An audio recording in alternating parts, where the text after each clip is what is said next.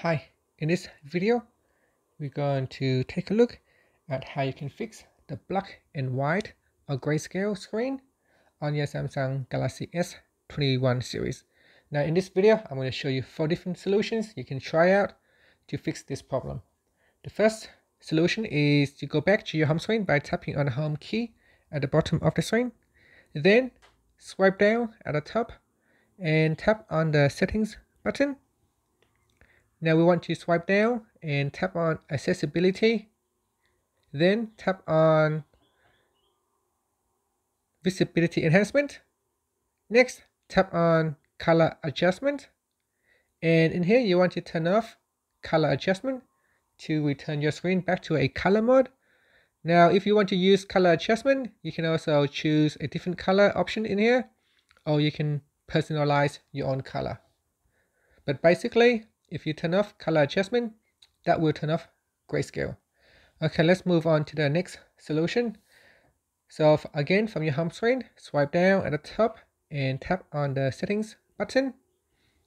Next, in here, you want to go down and tap on digital well-being and parental controls. Next, you want to go down and tap on bedtime mode. If bedtime mode is turned on as scheduled, Sometimes that can cause the screen to go into a grayscale mode.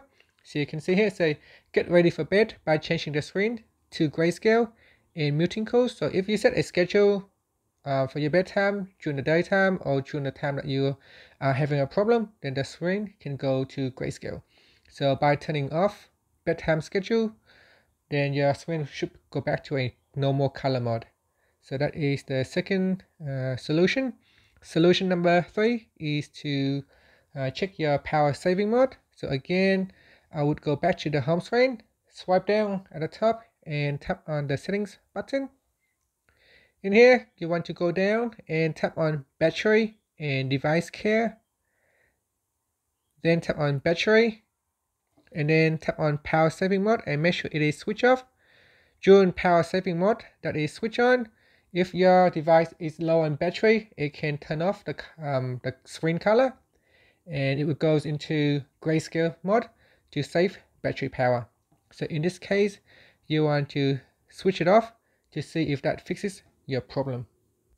Okay, the last option is to check your dark mode option. So from the settings, so we swipe down, go into settings. From the settings menu, you tap on displayed and then if it is set to dark mode, sometimes that can cause your screen to go black or white. So you want to choose light and then tap on the home key and see if that fixed the problem. So those are the four different solutions you can try to fix your black and white screen. Now if this video has helped, please uh, like and comment and please subscribe to my channel for my videos.